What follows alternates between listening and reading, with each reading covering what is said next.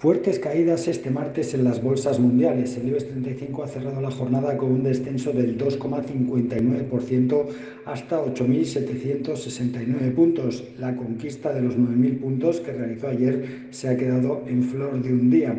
Los inversores han decidido vender de manera agresiva por el miedo a una inflación desbocada, con el petróleo en 80 dólares por barril, máximos de tres años, y también por el temor a una crisis energética en China que puede afectar a las cadenas de suministro y también puede provocar problemas en las economías desarrolladas. Así las cosas, el IBEX 35 ha dibujado una mala figura técnica en forma de envolvente bajista y los analistas técnicos de Bolsamanía no descartan que cubra el hueco alcista que se dejó hace unas sesiones en 8.655 puntos, por donde pasa la media de 200 sesiones.